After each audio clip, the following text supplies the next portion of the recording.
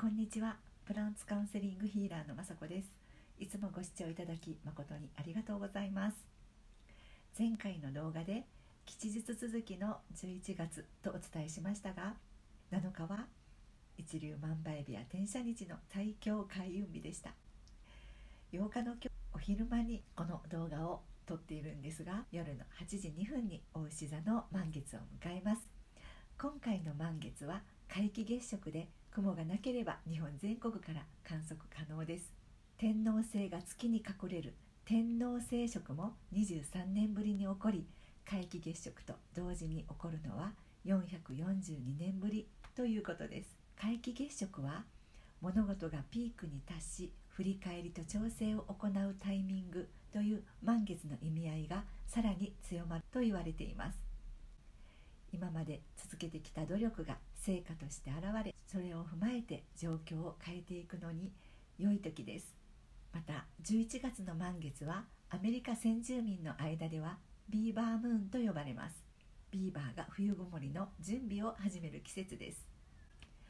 Work like a beaver という表現は木の枝を集めて巣を作るビーバーたちのようにせっせと勤勉に働く様子を示します。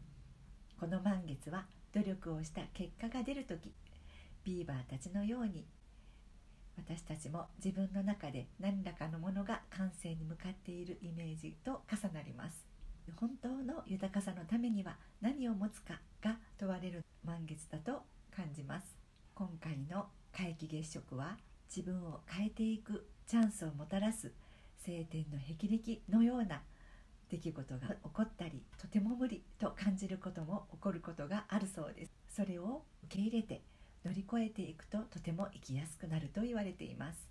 満月前後は気分や体調が揺れやすくなり眠気を感じたり気分が落ち込んだりする方もいらっしゃるようですが今週は無理をせずゆったりめのスケジュールで過ごされるのが良いかと思います。今回の満月では新しい仲間や人脈ができる。物事を俯瞰して見てみる。直感で変えたことが発展する。新しい素敵な人生生活楽しさがやってくる。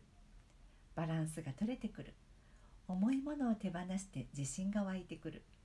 人生の主導権を握って長期的な安定感がある。切り替えがうまくいく。ご自身の花を大きく咲かせる。そこでえー、お花やクリスタルを見える場所に置いて瞑想するのもおすすめです。植物の根っこが大地にしっかり根付いていることをイメージしてグラウンディングをします。呼吸に集中して穏やかで優しい愛の力が高まっていきます。優しい気持ちで豊かさや実りをたっぷり受け受け取られますように。今日ご紹介したいのはフランキンセンスなど浄化力の高い香りでお香やアロマを焚いてエネルギーレベルの汚れもしっかり取り除きます。フランキンセンスは中世フランス語を由来としておりフランク本物のインセンス香りの語源を持っています。別名オリバナム入香とも呼ばれています。フランキンセンスは神仏への捧げ物として古くから焚かれていました。新約聖書にもあるようにイエス・キリストが生まれた時の誕生を祝う品として黄金ミルラ没薬のことですね。と共に捧げられたことで広く知られています。フランキンセンスが黄金と同様の価値がある貴重な香料として使用されてきました。お牛座は地のサインなので植物とも相性が良いです。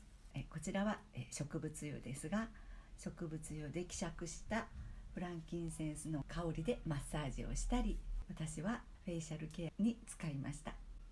またマゼンタピンクの成果を置くと運気が上がると言われていますので今日はマゼンタピンクのカラーをご用意いたしました。カラー全般の花言葉は乙女のしとやかさ清純華麗なる美です。カラーという名前の由来には様々な説がありますが一説ではギリシャ語で美しいを意味するカロスが語源であると言われています。このカロス美しいという語源にちなんで華麗なる美といった花言葉が託されているようです。アロマやお花を活用して素敵な11月をお過ごしいただければ幸いです。この動画では人生100年時代に健康長寿で自己実現し続けるために植物の力で心身を癒しあなたらしく輝けますように。植物のピュアなエネルギーとともにお届けしています。今日も良い一日をお過ごしください。ご視聴ありがとうございました。